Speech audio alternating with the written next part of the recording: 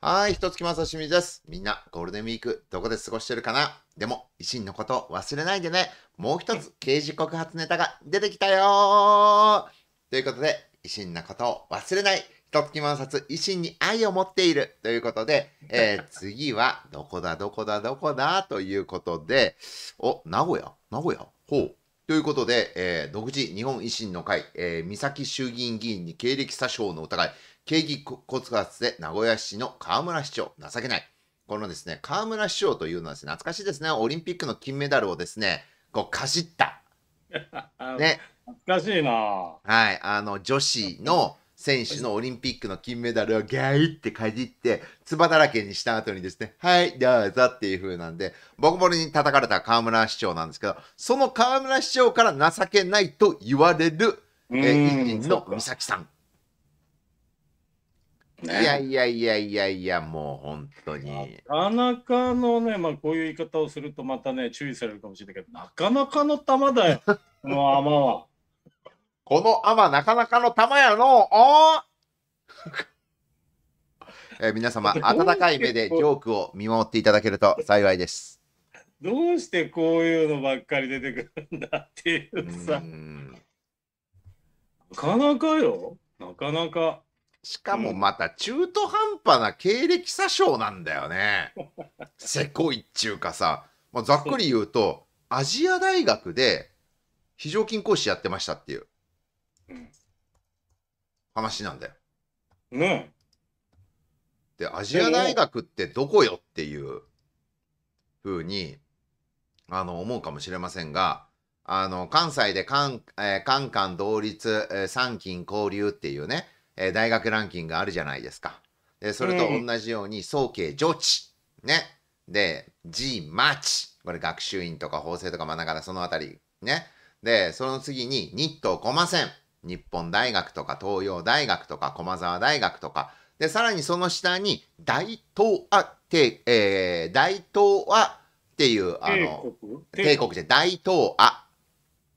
そうだっけ？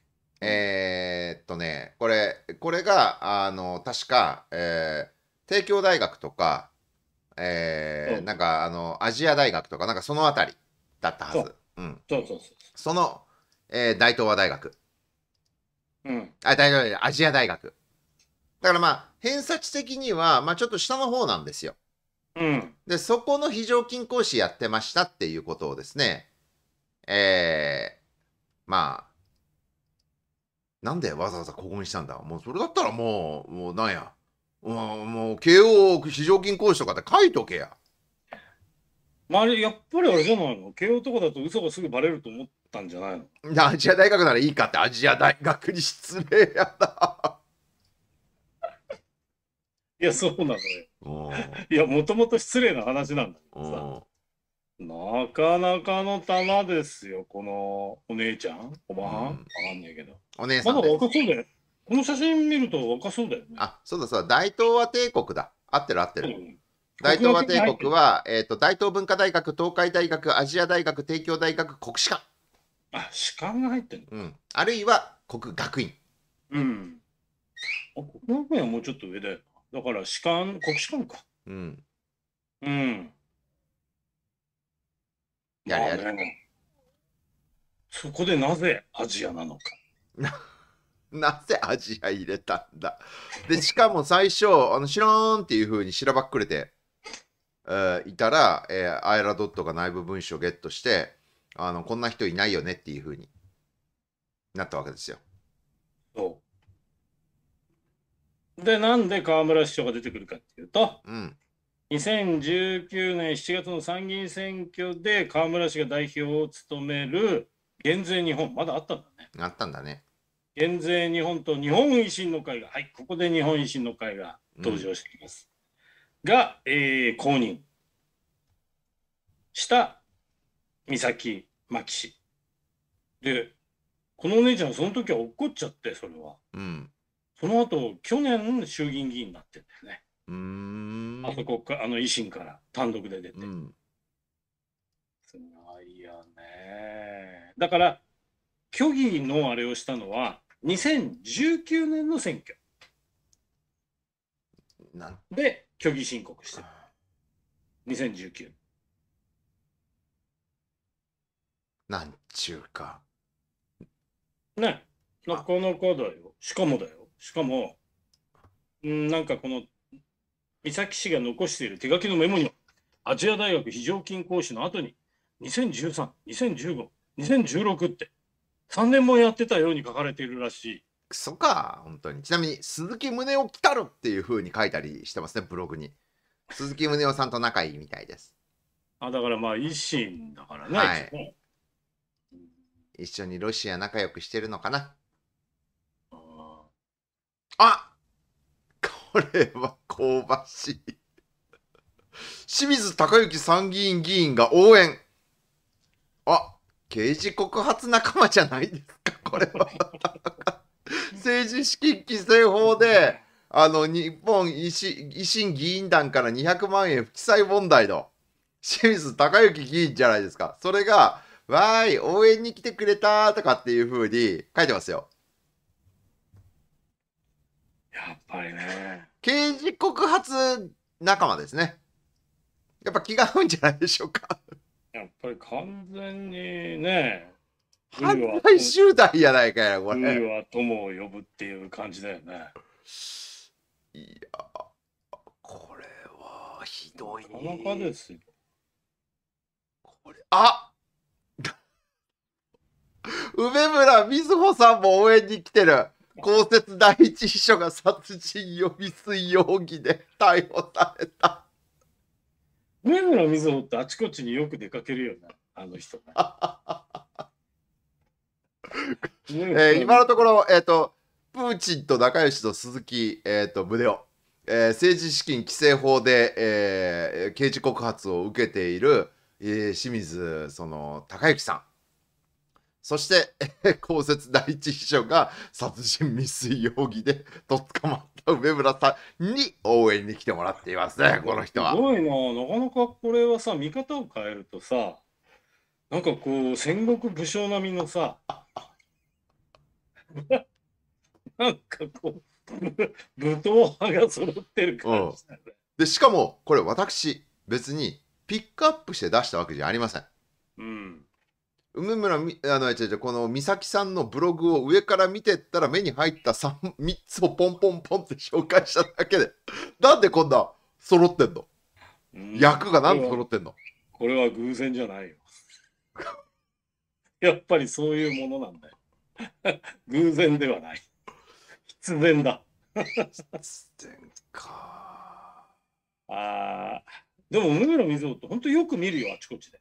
うん。彼女、引っ張りだこなん。だろうね、やっぱね。うん。うん。うん。それで、その、ほら、えっと、公設第一秘書が捕まったって言ったってさ、私じゃないわん。って感じで、うん。うん。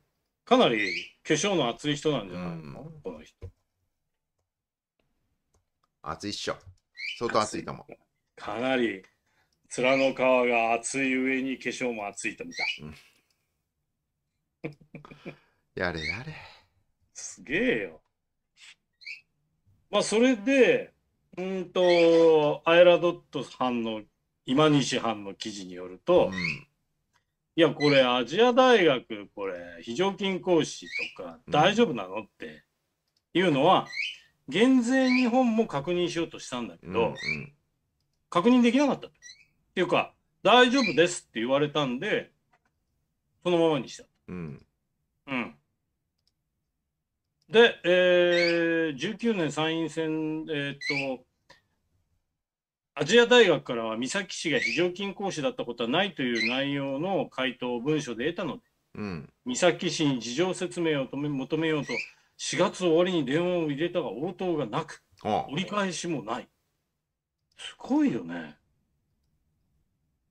この、なんで無視すんの？無視してるって、どうして？なかなかのもんだよね。情けない。情けないねでも、でも、そういうことで、えー去年は、去年の衆議院選は、維新の会の単独の公認だ。うんうんうん。なんと、またこれがいい話なんだよ。おこの選挙区の愛知5区は、大村愛知県知事へのリコールし署名偽造事件ってあったでしょ、うんうん。あれの時に、あれで逮捕・起訴された田中孝弘被告が当初、日本維新の会から立候補する予定だった。むちゃくちゃだな、おい。でさ、逮捕者が出たから、その代わりに公認したやつが、また選挙違反してるっていう。ははい、皆さんいつも申し上げますけど、本当にさ、順法精神ってないんだね。あ、ないね。かけらもねえわ。かけらもないんだよね。うん。ああえー、愛知5区だからね、この人ね。うん。愛知5区。維新はこの逮捕された田中被告うん。を擁立しようとしていたら、そいつが逮捕されたんで、慌てて、誰かおらんかって言ったら、うんはーいって言ってやってきたのが、こいつか経。歴詐称してるやつだったっていう。すごいなあでも、実は当時から三崎市の経歴にまつわる懸念がありました。ほっていうんで、えー維新の人、い維新の、えー杉本議員、う。うん。私はそこを指摘して大丈夫ですかと三崎市に確認を取り、間違いないという答えでした。それでも私には腑に落ちないところがあり、党本部に上申書を出し、三崎市が候補者の公認にふさわしいか、そちらで判断してほしいうん。と依頼したら、ええよーっていうことで OK になった。党本部が OK してる。あー、すごい。もうむちゃくちゃな、本当に。もう、ねあのもうロシアに転職して。うん。まあ、これさ、本当あのーまあ、もう真っ黒だから。うん。辞任するか、まあでもこいつ多分辞任しないで、うん。えーっと、裁判やって、うん。それでそれで有罪が確定するまでは多分居座るんじゃうん。いそうっしょ。ないねナムアミダ仏。え。すごいよね。ですから私としては、なぜアジア大学だったのか、ぜひお聞きしたい。そんなやらしいところ。河村に情けねえとか言われる時点で相当やで、これ。ねなんか本書いてますよ。え？え頑張るよりも、まずは一目置かれなさい。ビジネスと人間関係で辛く扱われない基本。三崎真希、フリーアナウンサー。会議、プレゼン、初対面からここぞというシーンまで尊重され、信頼されるから結果を出せる。話を聞いてもらえる人に変わる。そのためには、経歴詐称、なんぼろもんじゃーいってことですか？おいで。あんちゃんおいで。これすごくでも維新的な考え方ですよね。もう頑張ってもしょうがねえんだよ。まず注目されなきゃ意味ねえんだよって。軽く扱われねえためにはまずな、あの、何でもいいから目立てと。までずかませと。まずかませと。うん。そうじゃなかったら話が聞いてもらえねえんだよ。努力とかどうでもいいんだよ。まずは目立って。あの、Kindle 版があればですね、すぐ買って今ここで読めるんですけど、これちょっとないんで。あ惜しいねうんあ、惜しかったね。うん。あの、Kindle 版もないっていうことはですね、相当売れなかったんだと思います。うん、そうだろうね。まあ、あとはちっちゃい出版社ね。いや、ウェブ出版なんで、おおう。ん。売れてると。売そうう。俺そう。売れてたら、この本はちゃんと Kindle 版になってるはずです。売れなかったんだよ。そりゃ売れないだろ。いやー、すごい玉だぜ。うん。だって今やっぱりすごい厳しいからさ、経歴詐称。うん。ね。特にほら、海外の大学とかうん。行ってましたとかなんとか。まあ、ね。それのやっぱり代表があの方じゃな誰ですか？いっぱいいすぎて。い。ね。私がポンって出てきたのは、とりあえず、えっと、小泉進次郎。うん。うん。うんうんもう一つは、確か安倍晋三もなんかなかったっけ？あ、そう、あったよ。あったよね。うん。いや、でもさ、経歴詐称の、あうるさいね、おっちゃん。うるさい。うるさいよ。経歴詐称の女王といえばあの方じゃない。え、誰？え？え、誰？え、私あわからないな。でもなんだかわからないけど、ぼんやりと緑のイメージが浮かんできたんですよ。緑のイメージがあの浮かんできて、え、経歴詐称、あとね、クフ王のピラミッドとかも出てきたな。あ、出てきたお 出てきた出てきた。うん。うん。多分それって、それって、あの、もしかしてエカテリーナ、現代のエカテリーナですか？あ、女帝ですか？あ小池百合子さんですか？そうです。最近元気だよね、小池百合子。うんやっぱほら、欄がないと。欄が。もう乱を作る元気もなくなっちゃったかな。でもほら、参議院選挙ね。うん。何かやしやってくるんじゃないうんまたまた格闘が。ねえ、だからそのほら、彼女のカイロ大学、うん。カイロ大学を卒業しているっていうのは詐称ではないかってね、ずっと言われてるじゃない。うん。うん。まあ、カイロ大学とかさ、なんか、ああいう海外の大学になると、またこれがさ、確認するのが難しいじゃない。うん。結構さ。で、その、海外の大学だと、そういうあれを出さないとかさ、うん。そういうのもあの出さないと確認も出さないとか、うん。逆に言うと、金払えば何とでもなるっていう疑惑もある。うん。でも、この美咲ちゃんの場合は、うん、アジア大学はあんなことありませんって。ヨハネスブルグの南アフリカ共和国国立大学の、えー、んたらかんたら学科を出ましたとかって、うんそういうのいいじゃんもね北朝鮮のさ、キム・イルソン大学出ましたとか。う。大、そんな大学は。あ、ないっけないのか。あの国だったら明日の、あ今だったらモスクワ大学、モスクワ大学。うん、モスクワ大学。確認しづらいじゃん。しづらい。モスクワ大学で。それこそ胸をですよ。胸を使って確認するんだよ。これで。だから、ね。うん。なぜアジア大学なのか、とにかく私はそこが知りたい。いやいやいや。えっと、プロフィールを見る限り、うん。あんまアジア大学関係ないんですよね。うんこの子、大学どっか出てんの？えーまずですね、愛知県立統合高等学校を出た後に、愛知大学うん。法学部2部、うん。通信ですね、夜間とか。うん。で、それを中退されています。お 中退されてます。あなるほど。はい。ちなみに、あの、福岡大学とかともそうなんですけども、愛知大学は国立ではなく私立です。うん。近畿大学も私立だからね。で、うんこのその愛知大学の、あのー、2部っていうことは夜間なんで、2部に行って、で、しかもなんかわかんないけど、このデザインがダメすぎて見にくいんですけど、このプロフィールちょっと。ほら、お前さんこれ、な、見てよ、これ、もう。ちょっと。なんでこの、こんなに明るい色の上に白文字置くかな。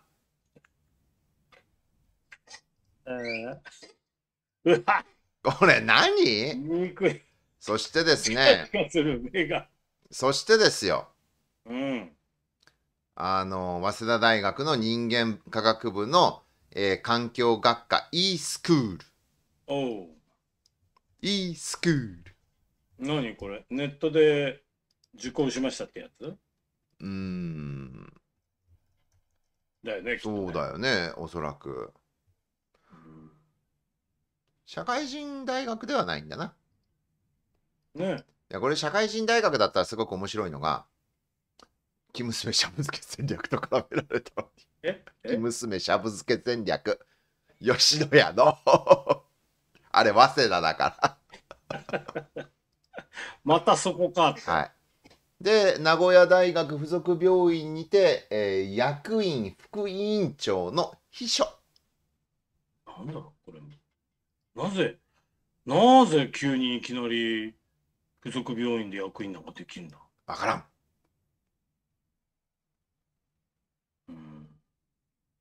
これさ、なんかすごい読みづらいんだけど、この資格も本当取ってんのか？これなんかもうダメな人の履歴書みたいな感じなんですけど、使えなさそうなさ、この、あの資格いっぱい並べてんだよな。心理カウンセラー、ビジネス電話事務検定知識上級、ビジネス電話検定事務部門、全国年間優秀賞受賞。これも本当か？いや秘書検定準1級ビジネスマナー検定1級。ビジネスマナー検定とか取ってる割に法のモラルはなかった書道2段そして心理カウンセラーがなぜか2回書かれています一番上に心理カウンセラーって書いてさらにもう一回心理カウンセラーって書いてうん、やっぱりこう人を騙す、あの、あれが、技術を心理的にね。いやでもまずこの本当だ。うん、で生活家電アドバイザー介護ホームヘルパー日本歯科医師会歯科助手？本当か？うん。ちょっと待って。歯科助手免許ってそんな簡単に取れる？いやいや実は。ここは取れないでしょ。あの、私マザーがマイマザーがあのあでもあれ歯科衛生士だもんな。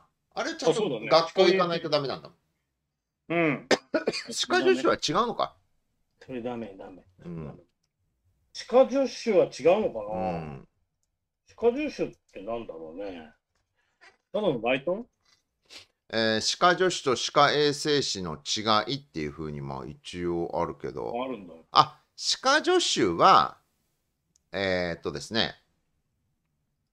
この衛生士学校の専門学校を調べてみると歯科衛生士と歯科助手の違いっていうふうに書いてるんですけどあのここここにですね歯科助手は、受付事務や診療のための雑務をこなす仕事です。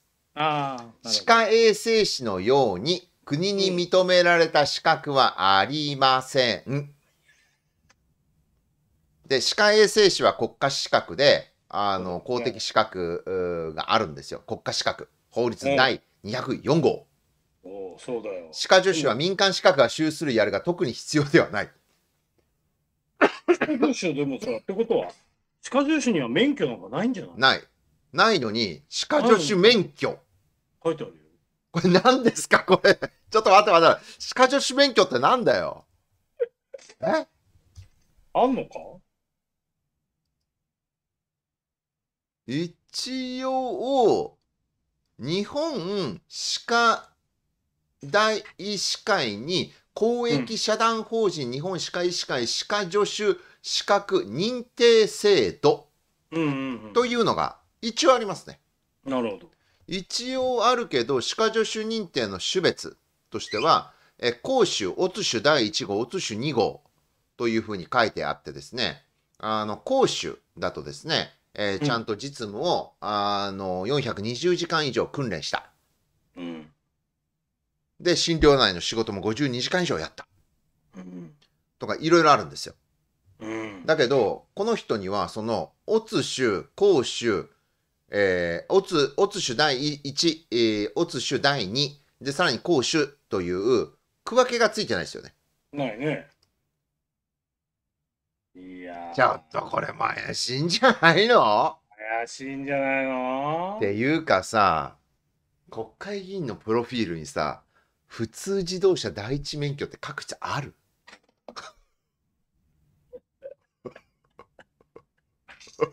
ここは俺と重なってる。ほう何？い俺も車の免許持ってる。やそそうだけどここだけか重なるな。俺ちなみに私車の免許持ってません っていうか公的資格で私が免許とか資格っていうのってゼロですようん。まあ強いて言えば大学卒業ぐらいかなうん。そうか、そうだな。これちょっと怪しいべこれここも怪しいな。でわざわざ大型バイク免許限定解消って書いてある限定解除ってどういう意味なんだろうね。大型バイク？うん。よく知らないんだけど。大型バイクの限定解除っていうのは多分もっと大きいうん。げ大きいのには乗れないのかな？大きいのに乗れるやつです。乗れんの？へそれが限定解除だと思いますよ、え、すごいね。本当なの？うん。だってまあさ、心理カウンセラーとかさ、生活家電アドバイザーなんていうのはさ、うん。こんなのてめえがそう名乗れや、それでいけるんじゃない？まあ国家資格は心理に関してはえーっとね一応あるんですよ心理カウンセラー、えーあるんだ心理カウンセラーの資格は国家資格上ではあの別のものが確かあったです、えーただあの心理カウンセラーっていうものではなかったなうん。民間資格ですよこれもうん。すごいね。あのいわゆる臨床心理士うん。っていうのがあってでそれはあでもそれもなこう国家資格ではないな。公認心理師とみ確かね臨床心理師っていうのがあるんですよ。でそれはね比較的うん。あの、重要というか、えーそれね権威がある資格なんです、まあ、勉強するのめ難しいんだけどうん。心理カウンセラーっていう資格は民間のところでもいくらでも取れるんです でしょうね。だからこれおそらく心理カウンセラー2つ書いてますよね。うん。これだから民間の心理カウンセラー2つ持ってるのかもしれない。でも民間の心理カウンセラー。ちなみにあの心理カウンセラーで検索するとですね Google で。あの、どういうものが出てくるか読みましょう。ん。う、えー広告1番メンタル心理カウンセラー資格未経験からカウンセラー2番心理カウンセラーになるには最短2ヶ月で簡単に資格取得心理カウンセリング資格習得講座たった4ヶ月間で資格取得可能こっち系じゃないの？これだ、間違いない。間違いないだろう、これ。なんなんだこいつ簡単そう。すごいね。いや、すごい。それは衆議院議員ですよ、今。目立つ目立つ目立つ目立つためには何してもええんじゃバケ中身よりもまず目立つことやっていうすごく分かりやすいじゃないですか。これですよねう。んいやー、こりゃあちょっと徹底的にやっぱり追求しなきゃいけないんじゃないの？っていうかうんこんな美味しい話題うん。あれしかもなんかこの人起業してるっぽいね株式会社ポリッシュっていうのを作ったって書いてるよそうそう、なんかやってるみたい。うん2015年って書いてあったね。うん。なかなかな玉だぜ。すごいよ。よここまで適当。アジア大学よ行かれ。アジア大学ダメだな、待ってちゃう。なめてんじゃねえよってさあ発行1位を起こすぞこれがってうんいや、ちょっとあまりにも舐められてますよ、それは。なめられてるねポリッシュって何？清掃業系の仕事なのかな？ああ。いや今ちょっとあの調査会社のホームページ見てるんですけどうん。美咲って出てくるかな？でもまあ今はやってないのかな？やってないよねそりゃ議員だからな。うん。今はやってないんじゃない？愛知県でポリッシュっていう会社ないですね今も。潰れちゃった？じゃあもう潰れちゃったんじゃないの？潰れちゃった？うん。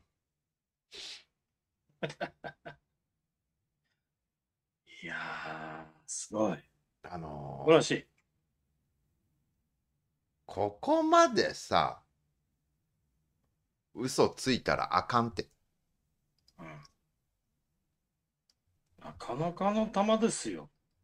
本当に。何回も言うけど。うん。うん。いやー。これ。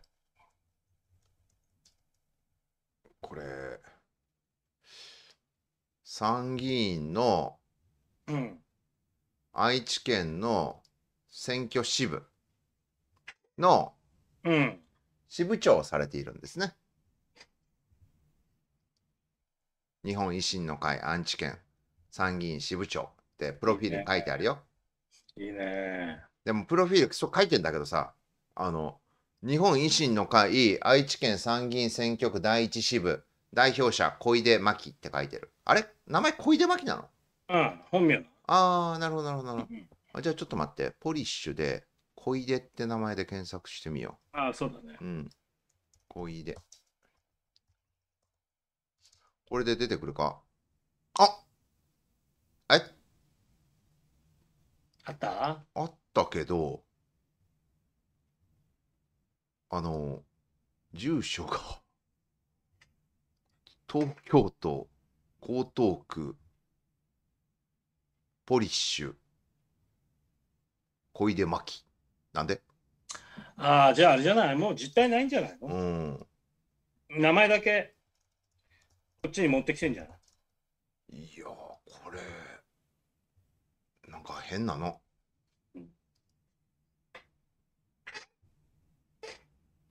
じゃあ東京に住んでんじゃん。そうなるんじゃない？これ。つまり。え？なんかようわからんな、この人。調べろ調べるほどなんか、ネタが豊富。ネタが豊富でいらっしゃる。怪しいな。いいの？こんなので。いや、いいや、維新だもいいのか？ん。いいの、いいの。維新だから。まあ、とりあえず日本語が片言喋れればいいんだろ、維新の。維新なんて。私、身を切る。改革。やりたい。身を切る改革さえ言えればいい。そう。だから、うん。いろいろ疑問あるけれど、とにかく俺はなぜアジア大学こだわるね。選んだのか。あれだったのかな？なんかこう、ほら、カラオケとか歌って、流れ出たら、アジアとかって言っいや、何言ってるのかアジア大学。何言ってるか私はわからないですけど。え、歌よ。歌があるんですか？そういう。アジアの純真っていう。あ、はいはいはいはい。あるじゃない。えー、私今ですね、あのーもうネットって怖いねって思うんだけど、登記簿を取り寄せました。怖いな。怖いな。ネット、ネットが怖い。ネットが怖いんじゃなくて、某清水優子が怖いんじゃない。えー、そこに登記されているマンションの名前をおこう見ましょう。うん。う。それはですね、なんかあの、どういうマンション名かっていうとですね、えー東京都江東区有明1丁目、ブリリア有明スカイタワー28階です。おお。タワマンじゃないですか。あら。おお。衆議院議員様はタワマンにお住まいですか？タワマンにお住まいですか？なんかあの、すごいね。ちょちょちょちょちょっと待ってあとあれもあるんだようん議員をさうん。議員宿舎もお持ちですよ赤坂にいやーこれちょっと見てくださいよ本間さん。33回最上階だけのくつろぎを再あの堪能するオールデイラウンジっていうふうに書いてます。はあすげえ。どうですか？うわーこれが何？マンションにあんの？マンションにあるらしいよ。いいなあ。28階でうん素晴らしいじゃない。28階の金額が書いてないんですけど26階の 1LDK の価格を調べました。はい。1億1300万円でございます。えちょっとあの安めの物件の金額も見ておくと 1LDK、うん。えー、僕高えな。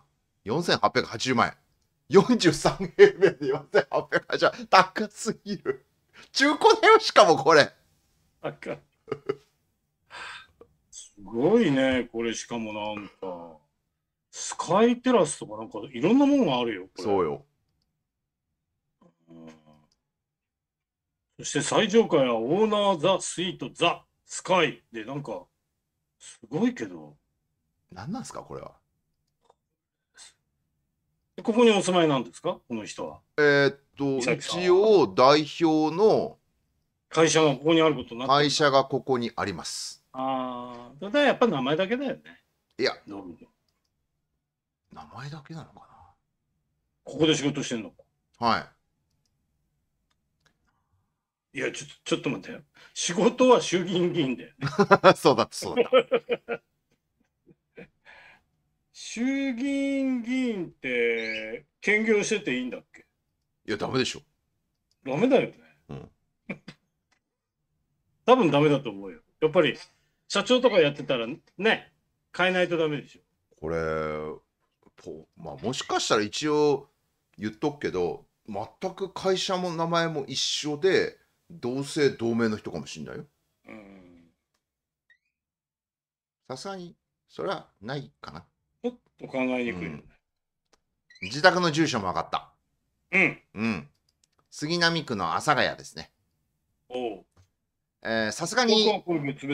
あのー住所はここでは言わんけど、うん。うん。Google マップで見るととても綺麗な一戸建てが。うんまあ一応なんだっけ、子供二人かいるって書いてある、ねうん。まあだから、まあ、相手、旦那がさ、なんか金持ちなのかもしれないけどね。うん。ねえ、おっちゃん。それであんた、いきなり衆議院議員だけど、経歴詐称ってこれ重いよ。逮捕されちゃうんだよ。あ、そうなんだ。そうだよ。有明ブリリアタワーからうん。こちらの施設に行っちゃうんですか？黒羽は残念ながらもうないから、長野刑務所あたりかな。ああ、でもあれかな。初犯だから、うん。うん、執執行猶予行猶予。執行猶予5年ぐらいかな。うん、でも、まあ、若干何日かは、と捕まるでしょうね。いいなでも、ブリリまあ。自分で、自分で衆議院議員辞めてれば、まあ逮捕までいかないかな。いいじゃないの、ブリリアントタワー。うん。ブリリアントタワーの絶景も経験して、別の意味の絶景である東京拘置所とか、ちょっと待とって、ちょっと待って、ちょっと待って、ちょっと待って、ちょっと待って、まだ出てきた。まだ、まだあんの？まだある、こいつダメだ。掘れば掘るほど出てくる。もうちょっとこれは。えっとですね、うんあの、収政治資金収支報告書をチェックしたんです。うん。ね？政治資金収支報告書、代表者指名、小出真紀さうん。ん。ね？えー公職者候補、お公職候補者の指名は三崎真紀さんと書いてあるので、まあ、これは通名の方をちゃんと書いてあるんですけども、収入総額、選挙支部、650万円。うん。どこから収入があるのか。えーまずですね、令和1年6月28日、日本維新の会の本部から300万円が振り込まれております。うんでそして、令和1年7月22日、350万円が日本維新の会から振り込まれております。うん。つまり、あの、松井の親分から、ああ、取っとけやって告発されたわけですよ。まあ、これで政治頑張れっていうふうに。で、選挙支部なので、本来はそこで人を雇ってね、うん。選挙活動とかするものじゃないですか。うん。ね。つまり、どういうものにお金をね、あの、使っているかっていうことをチェックする必要があるわけですよ。うん。で、その次にですね、あの、うんチェックをしていくとですね、えーじゃあ支出の項目を皆さんにチェックしましょう。うん。経費。人件費。62万5千円。これ1年間でですよ。安いな、おい。安い。おい、誰雇った？んこれ、備品。消耗品費。2万8332円。安っ。何買ったんコピー用紙か。うんで、事務所経費、5616円。安い。つまりでは、でそしてね、政治活動費、うん。2万3510円。全然政治活動してない、この人。一体何なんだと、この650万円の内訳は。で、見たときにですね、寄付、交付金、581万7000円。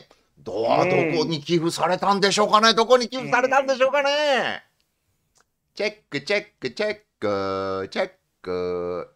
寄付令和1年6月28日、これ寄付された日ですよ。日本維新の会から。寄付300万円が寄付された時にですね、えー同日に小出真紀さんに寄付されております。セルフ領収書ってやつやこれセルフ領収書やここにもおったセルフ領収書。ああ、すごい。そしてえーっと、さっき払ったなんか細々したお金を残ったあまり280、17えー281万7000円をですね、令和1年1月22日に小出真紀さんに寄付されております。えなんじゃこれ。おうちゃんも怒っています。なんじゃこれえー本日私小出真紀さん改め三崎真紀さんにですねお礼を言いたいね今日はとてもいい動画が撮れたと思います 本当にネタを提供していただいてバカだ。はい、政治資金収支報告書、登記簿、当本、ね、うん。その他いろいろなものから見て、公的情報からここまで、うん。皆様にご提供させていただきました。はいさあ、これ、この人がまともな政治家なのかどうか。皆さん、んに判断をしていただきたい。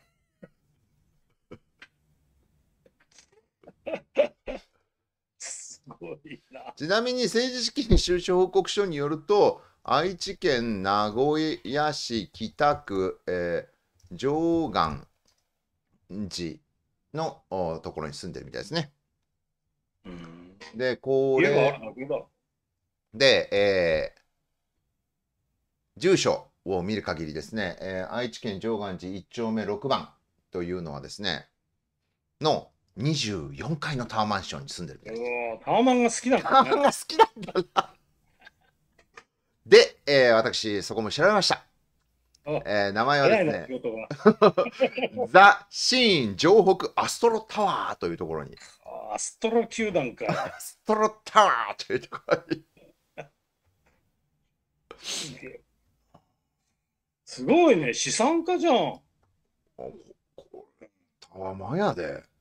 またタワマンタワマンやで。やっぱりほら、高いところから見下ろすのが好きなんじゃないの？人民どもがって。すごいね。あすごいね。あもういいよね。だって衆議院議員になって衆議院議員のさ、給料歳費はさ、いただき放題でしょ、うんで、それから維新の会から寄付もいただいてるんでしょ、うん。もういいわ。ちなみに皆さん、日本維新の会って、あの、あれですよ。あの、収入のほとんどが政党交付金なんで。税金だよ、うちらの。税金ですよ、簡単に言えば。皆さんの税金が、その政党支部というところで、に、まあ、まず降りて、そこでマネロンして、この子い、この美咲ちゃんにね、寄付されちゃってんだよ。ああ。簡単に言えば。すごいぜ、本当に。あ、すごいすごい。このザ・シーン城北アストロタワうん。ー。あの、名古屋で第2位の。超高層マンション。おお。これはもう決まったね。やっぱりどう見てもタワマン好きだよ。あ、ま好きだね。うんタワマン以外は家じゃないわ。